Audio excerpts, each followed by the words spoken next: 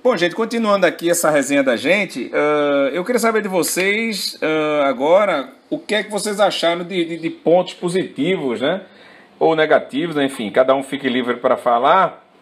Mas para eu não ficar aqui parado, só ouvindo né, e perguntando e não me, me, me colocar, me situar, eu, eu acho que a grande evolução do esporte foi o conjunto, né? Todos vestiram a camisa do profissionalismo, todos vestiram a camisa da vontade, da garra, do desempenho, né? Raríssimos, é, é lógico, todo jogo vai ter erro, vai ter algum probleminha aqui, outro ali, mas o geral, para mim, foi vestir a camisa do clube como ela merece ser vestida.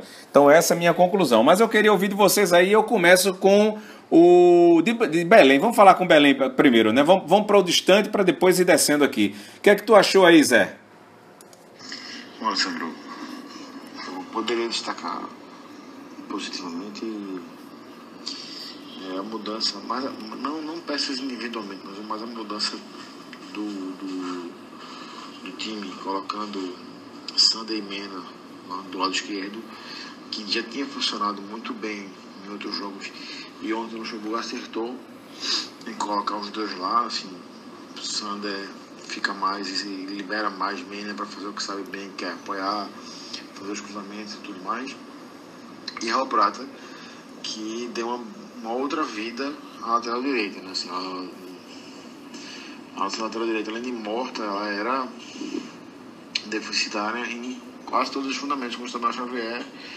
E o Raul, ele ele entra para equilibrar aquilo ali. Não que ele seja brilhante, que tenha sido uma partida maravilhosa, assim. Uma partida honesta, assim, na média, mas para o que vinha sendo apresentado por Samuel na lateral, foi um bom reforço. É, beleza, Zé. Vamos agora para Alex. E aí, Alex, concorda aí com o nosso amigo que está em Belém aí comendo açaí? Rapaz, ponto positivo teve vários, assim. Eu acho que o esporte jogou muito bem, então a gente pode destacar diversos jogadores. Né? O, o, lateral direito, o Raul Prata, ele deu uma proteção muito boa na defesa e chegou ao ataque, é, criando, inclusive dando assistência. Mena, com a bola parada dele também foi muito. É, teve um desempenho muito bom.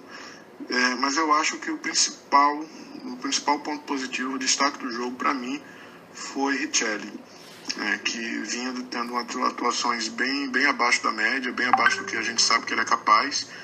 Mas ontem não, ontem ele conseguiu é, fazer exatamente aquilo que eu acho que ele é melhor, que é a melhor característica dele, que é fazer o que hoje se chama de box to box.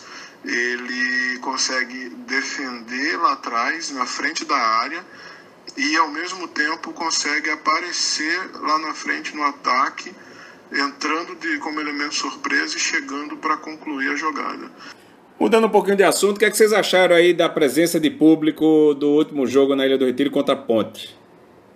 Essa pergunta é difícil de responder, Alessandro, porque, por um lado, você tem diversos fatores ali que contribuem para baixar o público. Por exemplo, o horário do jogo, 7 horas da 7 e 15 da noite, um dia de semana. O trânsito numa cidade como Recife é complicado. Você pode falar das condições do estádio que não são as ideais. Você pode falar do, do momento do time que está em decadência, está toda essa crise, todo, todo, os últimos jogos que tecnicamente não foram bons. Então tem diversos fatores ali que poderiam contribuir realmente com a baixa do público.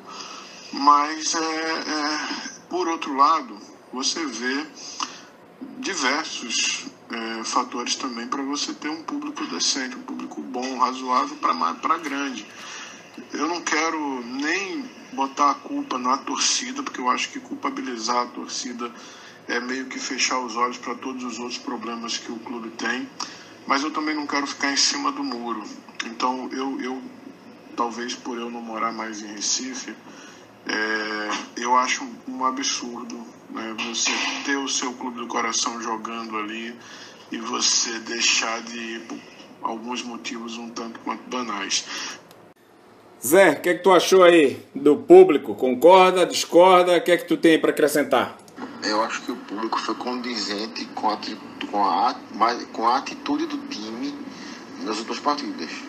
Então, assim, é, tem se falado dessa história da torcida, enfim, tá aquém do esperado e tal.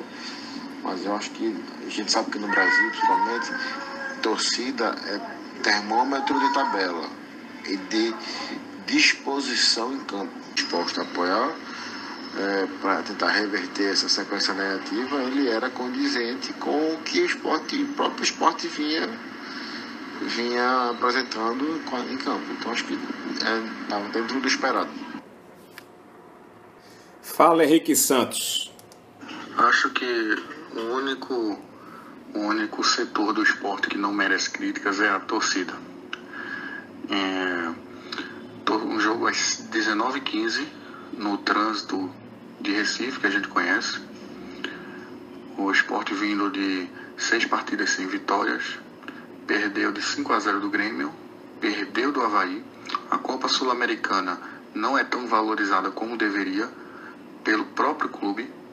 Haja vista nas fases anteriores, as partidas que o esporte fez fora de casa.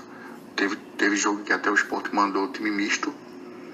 Nos anos anteriores também, como o esporte retratou a Copa Sul-Americana e um público acima de 6 mil ainda me surpreendeu, para falar a verdade.